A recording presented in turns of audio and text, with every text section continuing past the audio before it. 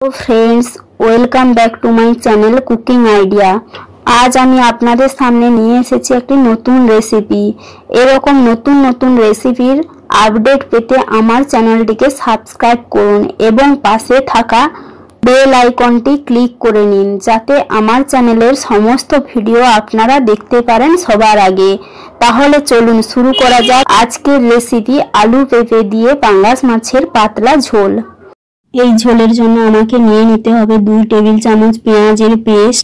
নিয়ে নেব এক টেবিল চামচ জিরার পেস্ট, এক টেবিল চামচ শুকনো লঙ্কার পেস্ট এবং যোগ করতে হবে হাফ টেবিল চামচ রসুনের পেস্ট, এক টেবিল চামচ আদার পেস্ট এবং হলুদ গুঁড়ো। নেব একটি বড় সাইজের টমেটো কুচি এবং পরিমাণ মতো লবণ। আর নিয়ে নিয়েছি পাঁচ কেজি ওজনের পাঙ্গাস মাছের টুকরো। এরপর আঁচে একটি কড়াই বসিয়ে দিয়ে দেব কিছুটা পরিমাণ তেল মাছটা ভেজে নেওয়ার জন্য। এরপর তেলটা খুব ভালোভাবে গরম হয়ে এলে দিয়ে দেব মাছের টুকরোগুলো। মাছের টুকরোগুলোকে আমি আগে থেকেই নুন, হলুদ মাখিয়ে রেখেছি। আমি মাছের দু পিঠ খুব সুন্দরভাবে ভেজে নেব যাতে একটু বাদামি কালার আসে।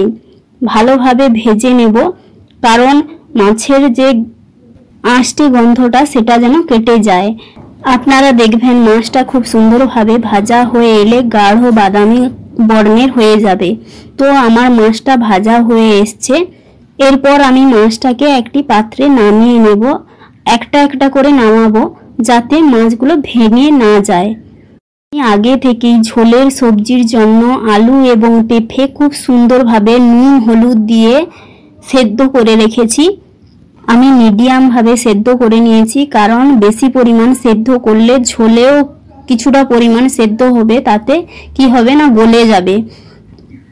কড়াইতে ভেজে নেওয়া মাছের তেলের সঙ্গে অল্প কিছুটা তেল যোগ করে আমি খুব ভালোভাবে গরম করে নেব এবং এই তেলের মধ্যে রসুনের পেস্টটা দিয়ে খুব ভালোভাবে ভেজে নেব এবং তার সঙ্গে যোগ করব টমাটোর কুচি এবং দিয়ে দেব দুই টেবিল চামচ বেটে রাখা পেঁয়াজের পেস্ট। এরপর ভালোভাবে কষিয়ে নেব যতক্ষণ না টমেটো সেদ্ধ হয়ে আসে। টমেটোটা সেদ্ধ হয়ে এলে দিয়ে দেব এক টেবিল চামচ লঙ্কার গুঁড়ো। আপনারা চাইলে লঙ্কার পেস্টও যোগ করতে পারেন। এরপর ভালোভাবে কষিয়ে নিতে হবে প্রায় দেড় থেকে দু মিনিট। এবং ভালোভাবে কষানো হয়ে এলে আপনারা দেখবেন যে মশলা থেকে তেল ছেড়ে এসছে।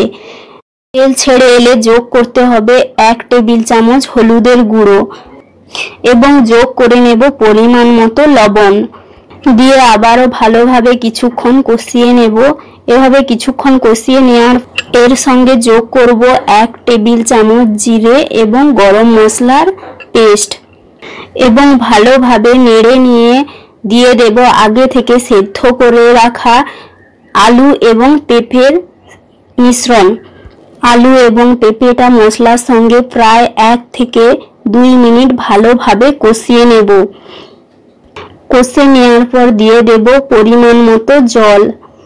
আপনারা যদি পাতলা ঝোল খেতে চান তাহলে বেশি পরিমাণে জল যোগ করবেন। আর যদি ঘন খেতে চান তাহলে পরিমাণটা একটু কমিয়ে রাখবেন। আমি পাতলা ঝোল করছি, তাই একটু বেশি পরিমাণ জল দিয়েছি। এরপর আমি উনুনের আঁচটা খুব ভালোভাবে বাড়িয়ে নিচ্ছি যাতে ঝোলটা তাড়াতাড়ি ফুটে যায়। এবং ঝোলটা ভালোভাবে ফুটে গেলে দিয়ে দেব আগে থেকে ভেজে রাখা মাছের টুকরোগুলো। আমি ঝোলের মধ্যে একটা একটা করে মাছের টুকরো দিয়ে দিচ্ছি, কারণ পাঙ্গাস মাছ খুবই নরম হয়, সবগুলো একসঙ্গে দিলে ভেঙে যাওয়ার সম্ভাবনা থাকে। এরপর দুই থেকে তিন মিনিট ভালোভাবে ফুটিয়ে নেওয়ার পর একটি পরিষ্কার পাত্রে নামিয়ে নেব। আপনারা যারা পাঙ্গাস মাছ খান না, তারা অবশ্যই এই রেসিপিটা একবার টেস্ট করে দেখবেন।